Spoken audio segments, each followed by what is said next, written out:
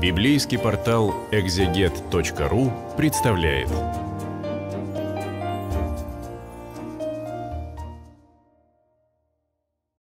Мы читаем сегодня 11 главу первой книги «Царей» или «Царств», как в традиционных переводах она звучит для библейского портала «Экзегет». В своем читаю переводе с небольшими комментариями. Ну вот, 10 эм, глава у нас закончилась тем, что уже установлена монархия в Израиле.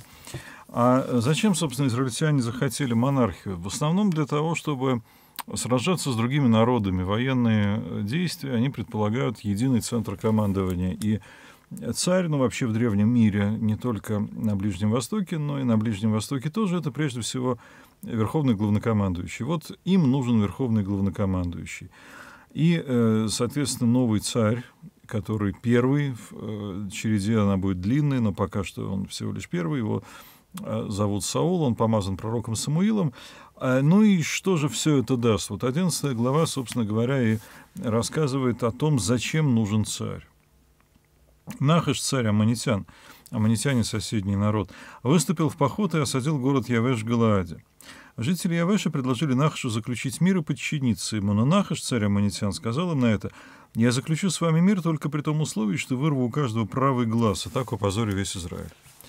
Довольно странное желание, но есть, кстати, рукописи, одна, по крайней мере, рукопись, которая уточняет, может быть, это как раз более древний вариант текста, а жители Нахаша были меткими стрелками из прощи, а человек без правого глаза, он не может прицелиться, да, то есть э, стрелять сегодня, конечно, это будет огнестрельное оружие, в древности это проща либо лук, но он не сможет в любом случае.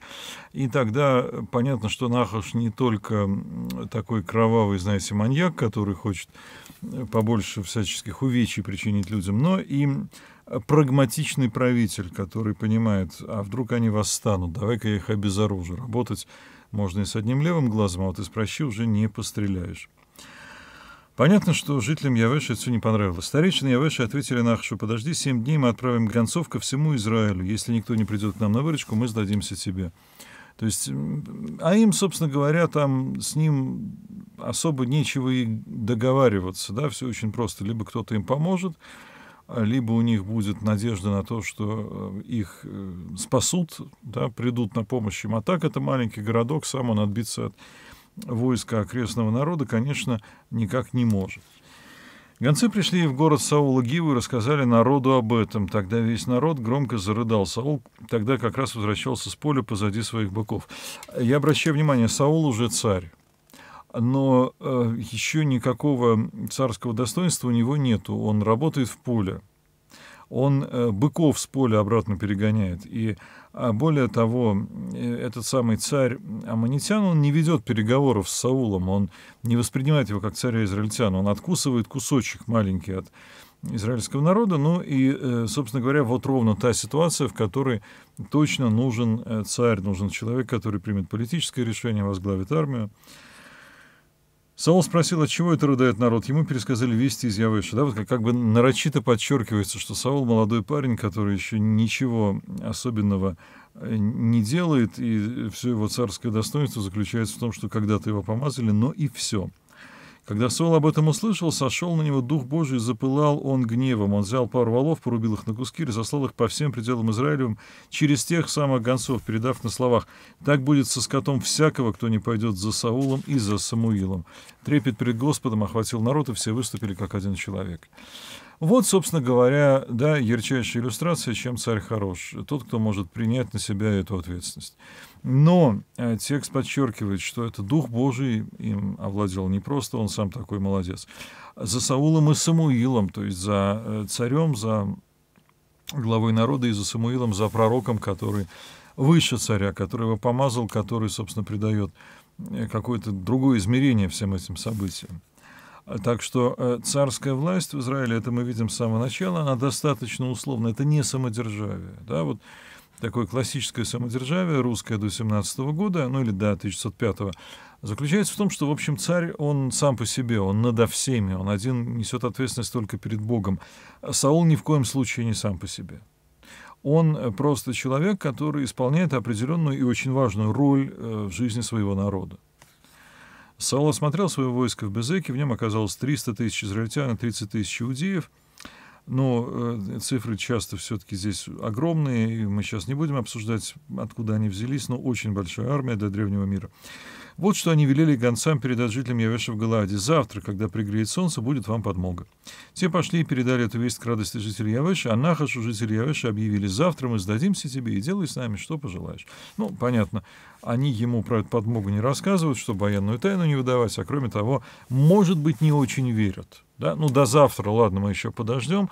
Когда пригреет солнце, то есть, ну, где-то не на восходе, а там к полудню ближе, да, и, соответственно, они э, могут подождать вот ровно до конца следующего дня. На завтра Саул разделил народ на три отряда, они проникли в лагерь аммонитян на утренней страже и разбили их прежде, чем пригрело солнце, даже еще раньше, как вы видите. А Причем э, Саул — талантливый полководец. Как до этого э, судьи, да, вот судьи или вожди, как в моем переводе, они не просто выстраивали толпу народа и, шли на пролом лоб в лоб, а какой-то замысел, да, на утренней страже, то есть это конец ночи, вот когда еще не рассвело, когда э, крепче всего спят люди, они выбрали время для нападения самое такое благоприятное. Три отряда, то есть с трех сторон взяли их клещи. Аммонитяне были рассеяны поодиночке, даже по двое никого не осталось. Народ тогда предложил Самуилу, а кто это говорил, Саул ли царствует над нами, выдай их нам, мы их казним. Я напомню, что в конце прошлой главы, собственно, так говорили некоторые люди, возможно, многие. Кто такой этот Саул, почему он царь, э, и оказывается, он царь. Надо же. То есть, э, вот люди очень любят военные победы. Их не интересует достоинство человека, их не интересуют его успехи там, в экономике или, что тем более, в духовной какой-то сфере. Ему, этому простому человеку важно, что вот мы врагов разбили, да, мы прогнали аммонитян, вот это круто, да, теперь мы его признаем царем. Обратим на это внимание, потому что дальнейшая история Саула, она будет ровно про это. Он воевать-то умеет. И народ от него ждет, что он будет воевать. Но этого оказывается мало. Итак, они хотят казнить тех, кто не признал Саула сначала царем. Но Саул возразил, никого нельзя убивать сегодня, ведь Господь в этот день даровал Израилю спасение. А Самуил призвал народ, пойдем в Гилгал, обновим там царствование Саула.